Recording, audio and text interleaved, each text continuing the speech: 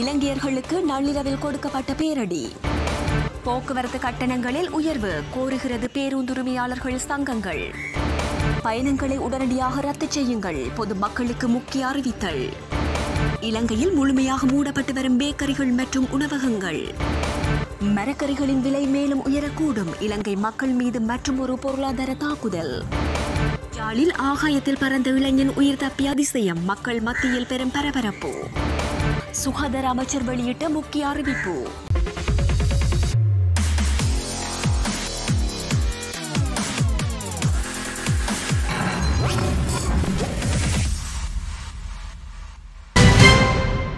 நள்ளிரவில் இருந்து லங்கா ஐஓஎஸ்சி நிறுவனமும் எரிபொருள் விலையை அதிகரித்துள்ளது.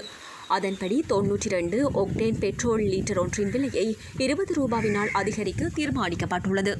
நூற்றி ஐம்பத்தி ஏழு ரூபாவாக இருந்த தொன்னூற்றி ரெண்டு ஒக்டேன் பெட்ரோலின் புதிய விலை லீட்டர் ஒன்றின் விலை நூற்றி எழுபத்தி ஏழு ரூபாய் ஆகும் அத்துடன் எக்ஸ்ட்ரா பிரிமியம் தொன்னூற்றி ஐந்து மில்லி லிட்டர் பெட்ரோலின் புதிய விலை இருநூற்றி பத்து ரூபாவாக அதிகரிக்கப்பட்டுள்ளது.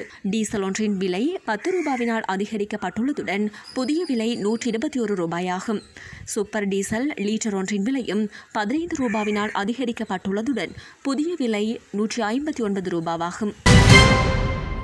எரிபொருள் விலை அதிகரிப்புடன் பேருந்து கட்டணத்தை அதிகரிக்க வேண்டும் என இலங்கை தனியார் பேருந்து உரிமையாளர்கள் சங்கத்தின் தலைவர் ஹெமுடு விஜயரத்ன கோரிக்கை விடுத்துள்ளார்.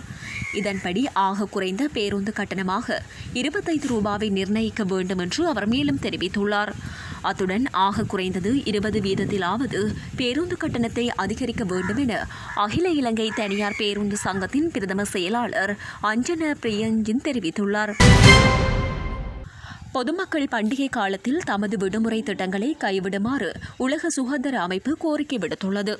உலக சுகாதார அமைப்பின் தலைவர் ரெட்ரோஸ் அதோனம் ஹெப்ரியசஸ் இந்த கோரிக்கையை விடுத்துள்ளார். வாழ்க்கையை ரத்து செய்வதை காட்டிலும் நிகழ்வுகளை ரத்து செய்வது சிறந்தது என்று அவர் வலியுறுத்தியுள்ளார். இந்த கடினமான தீர்மானத்தை எடுப்பது அவசியம் என்றும் அவர் குறிப்பிட்டுள்ளார்.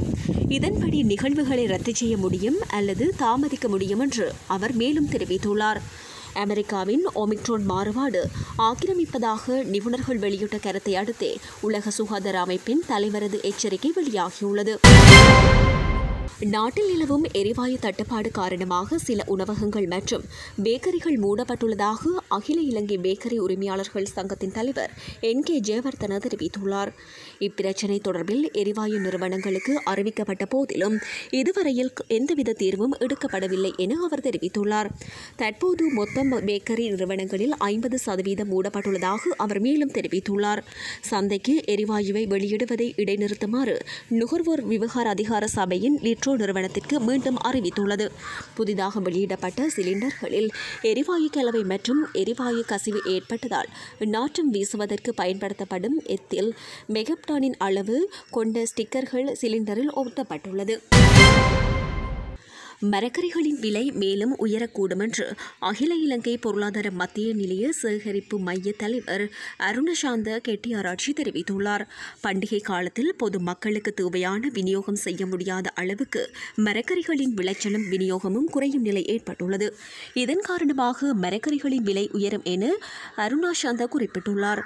ஊடகவியலாளர் சந்திப்பு ஒன்றின் போதே அவர் இதனை தெரிவித்துள்ளார். இந்நிலையில் கேரட் கிலோ ஒன்று முன்னூற்றி இருபது ரூபாய் முதல் நானூற்றி எண்பது ரூபாவாக விற்பனை செய்யப்பட்டுள்ளது. கோவா இருநூற்றி முப்பது விற்பனை முதல் இருநூற்றி ஐம்பது ரூபாவாக விற்பனை செய்யப்படுகின்றது. லீக்ஸ் இருநூற்றி அறுபது ரூபாவாக விற்பனை செய்யப்படுகின்றது. பீட்ரூட் முன்னூற்றி எழுபது ரூபாவாக விற்பனை செய்யப்படுகின்றது. யாழில் இளம் குடும்பஸ்தர் ஒருவர் பட்டத்தின் கயிற்றை விடாது சுமார் நாற்பது அடி உயரத்தில் ஐந்து நிமிடம் வரை தொங்கிக் கொண்டிருந்த சம்பவம் வடமராட்சியில் பெரும் பரபரப்பை ஏற்படுத்தியுள்ளது. இந்த சம்பவம் யாழ் பருத்தித்துறை புளோடி பகுதி வடமராட்சியில் இன்று இடம்பெற்றுள்ளது. இந்த சம்பவம் குறித்து தெரிய வருவதாவது இளைஞர்கள் பலர் பட்டம் விட்டுக் கொண்டிருந்த போது பட்டத்தின் கயிற்றை ஒரு மரத்தில் கட்டி வைத்துவிட்டு பட்டம் ஏற்றியுள்ளனர் இந்நிலையில் பட்டமேற்றிய இளைஞர்களால் அதனை கட்டுப்படுத்த முடியாமல் கைவிட்டுள்ளனர். இளம் குடும்பஸ்தர் ஒருவர் மாத்திரம் பட்டத்தின் கயிற்றை விடாது. சுமார் நாற்பது அடி உயரத்தில் ஐந்து நிமிடம் வரை தொங்கிக் கொண்டிருந்துள்ளார். சுகாதார வழிமுறைகள் தொடர்பில் முக்கிய அறிவிப்பு ஒன்று வெளியாகியுள்ளது எதிர்வரும் ஜனவரி இரண்டாயிரத்தி இருபத்தி ரெண்டாம் ஆண்டில் பொது இடங்களுக்கு செல்வோருக்கு கோவிட் தடுப்பூசி அட்டைகள் கட்டாயமாக்கப்பட்டுள்ளது. இந்த தகவலை சுகாதார அமைச்சர் கெஹலி ரம்புக்வெல் தனது ட்விட்டர் பக்கத்தில் தெரிவித்திருந்தார் என்பதும் குறிப்பிடத்தக்கது.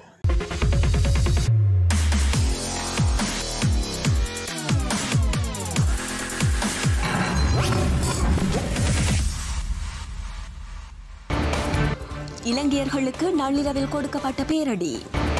போக்குவரத்து கட்டணங்களில் உயர்வு கோருகிறது பேருந்துரிமையாளர்கள் சங்கங்கள்.